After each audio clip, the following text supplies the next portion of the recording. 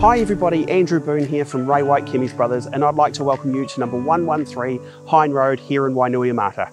If you're looking for a well presented three bedroom family home in the ever popular Hine Road, then look no further. Let's go take a look.